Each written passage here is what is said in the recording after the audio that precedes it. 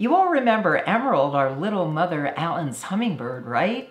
Well, guess what? She's back and she is building a nest in a very protected area. She has forsaken her panoramic view for the comfort and security of a semi-enclosed space. Nothing is going to take her babies from here. Alec from Nature with Alec was quick to move a camera to the new location. Let's have a look and I'll show you the layout of both her old and new nest.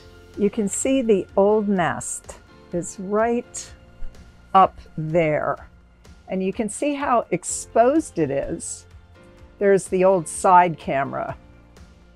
So it's fairly easy for the hawk to come swoop down under that gutter and grab one of the babies. Now the new nest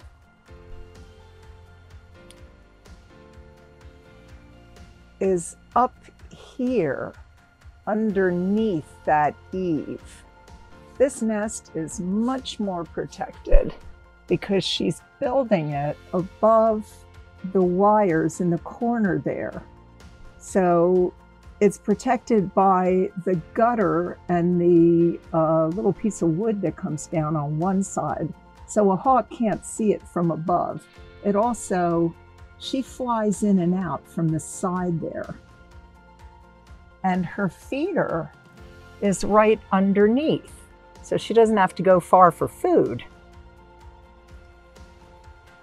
Oh, I just saw her fly off the uh, the pomegranate tree. I don't know if you saw it, but this is definitely Emerald. I would recognize her anywhere. She has the biggest throat patch that's orange of any female Allens that I've ever seen. Usually they have just a few feathers that are orange, but she almost has a full gorget. She's such a pretty female hummingbird. Okay, now I'm going to step back and let's see if she comes. Here she is.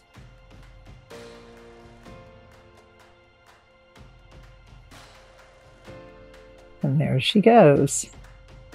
Stay tuned to see all the upcoming events on our live stream.